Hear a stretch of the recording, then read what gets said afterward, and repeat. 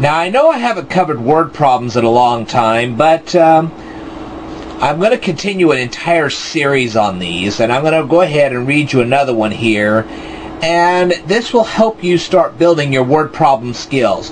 One of the things about calculus is that you're going to have a whole bunch of word problems, and the more you learn from me, the better off you're going to be later on. Let me read you a typical word problem. Now this is kind of a very uh, early stage type word problem, whereas some of the things that I'll talk about later will be a little more complicated. But anyway,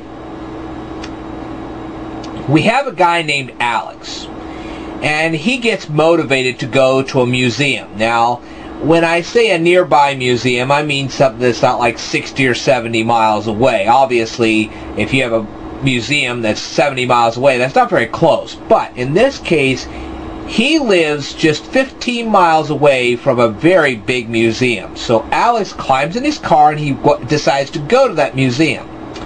And he drives 15 miles and gets there. Well, he enjoys the museum. He takes a look at all the exhibits and whatever, and uh, he has a little notepad. He takes notes, whatever, and then uh, afterwards he climbs back in the car well, he's kind of tired. He doesn't want to drive 15 miles all the way back home, so he decides, you know what? Let's just uh, pull out my little uh, iPhone, and he pulls out his iPhone. He uh, hits the uh, um, one of the map things on on the iPhone, and he discovers that there's a route that he can take that is shorter than the route he took to get to the museum.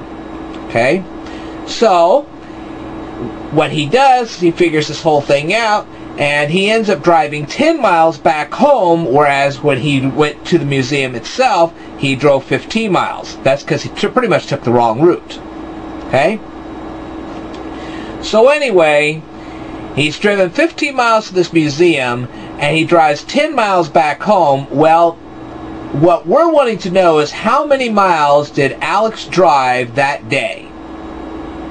Well, you take the 15 miles that he drove to the museum, and then you add the 10 miles that he drove all the way back, and what you'll get is 15 plus 10 equaling 25. I'll get that a little closer. 15 plus 10 equals 25. And that's how many miles he actually drove that entire day. And that's how you solve that word problem.